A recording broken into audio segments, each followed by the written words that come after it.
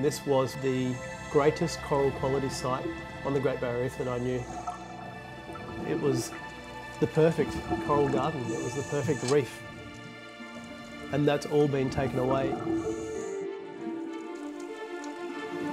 In a way, this is like diving into the future. I'm approaching this with some trepidation. I'm quite fearful that we'll see really serious damage down there.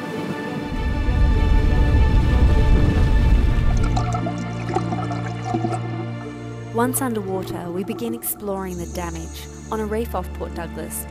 All this coral was alive only just a few months ago, and yet we're now seeing the impacts of extensive bleaching. You can see the bleached coral, that looks white.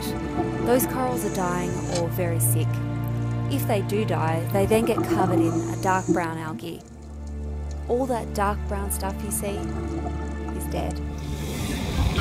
I went in with a bit of trepidation and it was pretty awful actually. There are still some pockets of healthy coral, but there's a lot of it that's been very badly damaged. My first impressions of what is out there is complete devastation. When I emerged from that watery world up into this boat, my first feelings, quite frankly, were ones of intense anger. If the average Australian could have seen what I've seen today, they would be absolutely outraged.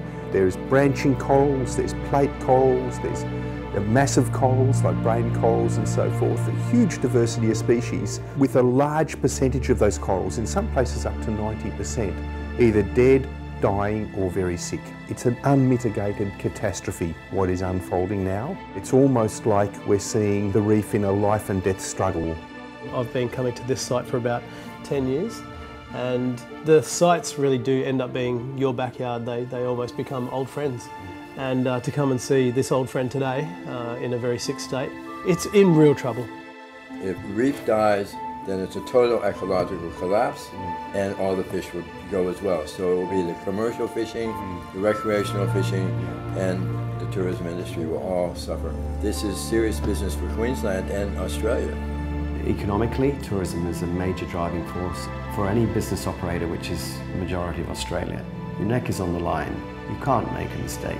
Obviously, it's very alarming to think of the reef being dead, but it is a wake-up call. We can't keep repeatedly pressurising a natural environment and expect it to be there forever. The reef is a, an amazingly important economic asset. It employs over 69,000 people. On top of that, it generates something like $5.6 billion for the Australian economy. This bleaching event is happening because these organisms are being shocked by extraordinarily high surface temperatures this is caused by the greenhouse gases that are being poured into the atmosphere from the burning of coal and other fossil fuels. This is an extreme global event that has surprised us in its extent, its size, and how fast this is actually occurring. When you look at this, this is all dead, right? And so that's what we're seeing more and more of this year, and we really fear for some reefs that may lose as much as 90% of their corals. So there are people who will say, oh, you know, it's happened before, you know, coral reefs will bounce back and so on. Well, unfortunately, that's not the case for large parts of the reef. We've got to nail right now the underlying reason for these events. If we can do that, and it's literally the last call, we will save the Great Barrier Reef for future generations. The one thing that I come away from this experience absolutely convinced of is that this has to be the reef election. We need to put the fate of the Great Barrier Reef front and centre. We need to wean ourselves off coal and we need to do it incredibly quickly. Otherwise, future generations are going to miss the opportunity completely of seeing this extraordinary place, Australia's Great Barrier Reef.